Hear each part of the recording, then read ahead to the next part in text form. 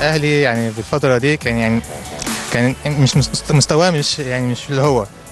بس هو يعني هو كان بخطا الشناوي بس هو انقذ هو أنقذ ضربة جزاء.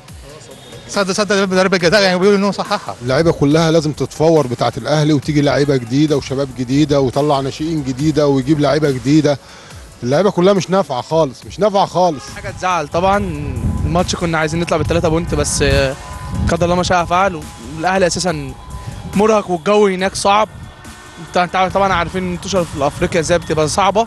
وجاي من كأس العالم للأندية وارهاق فتعب يعني أكيد. فده نصيب يعني. في بطء في التغييرات. آه الشناوي دي غلطة الشناوي النهارده في الجون اللي هو دخل فينا. آه في في في عدم تركيز من اللعيبة كلها. مش فاهم ليه. غير إن في مفيش مهاجم.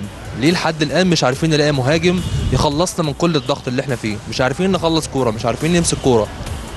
دي مشكلة إحنا بنواجهها. العيب مش في المدرب عشان ما حدش يلوم المدرب في حاجة. المدرب بيعمل اللي عليه بس العيب في اللعيبة نفسها. اللعيب ممكن يكون آه هلكان إحنا مش هن مش هنلوم اللعيبة.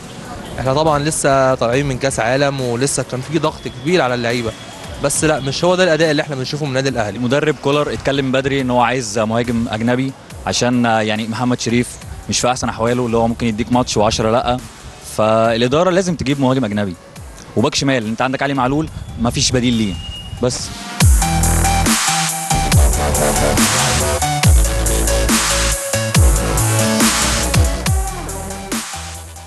طيب آه، سمعنا رأي آه، بعض من مشجعي النادي الأهلي النهاردة بعد المباراة وبعد الخسارة. اللقاء اللي جاي سان داونز هنا في القاهرة ثم سان داونز في آه، جنوب إفريقيا.